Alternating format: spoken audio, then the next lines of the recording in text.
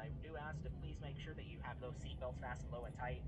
Uh, make sure that your tray tables and seat bags are in the upright locked position.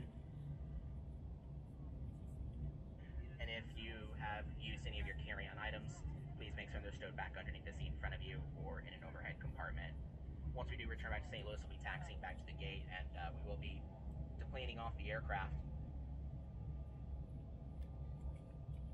I do uh, greatly apologize for the inconvenience. We'll be deplaning, and there should be uh, United agents will be able to assist as far as uh, rebooking, connecting flights, and, and such. But like I said, we should be on the ground in about uh, five minutes. Thank you.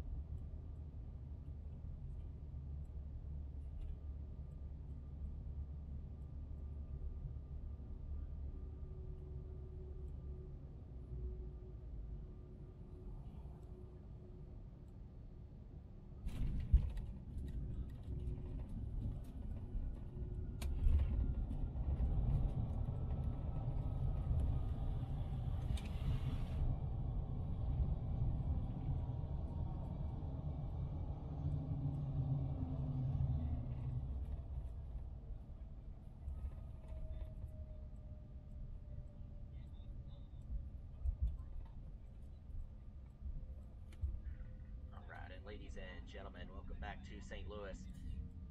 Again, do apologize for everything here. Uh, we're going to be taxiing to the gate.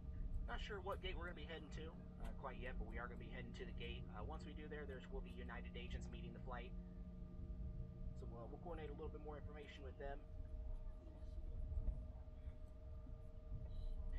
Once we do get to the gate, I do ask that uh, once we start deplaning, just please make sure to take absolutely everything with you. Uh, so make sure to take your all your bags you brought on board. Make sure to take your boarding pass. Don't leave anything at all in the aircraft. I'll uh, ask the agent, and we'll figure out as far as like the valet, the green tag bags, and then there should be agents to help you as far as if anyone is looking into rebooking or any possible help. So hang tight. Uh, a little bit more information here for you shortly. Right now, just keep that seatbelt fastened until the seatbelt sign is turned off. Thank you very much.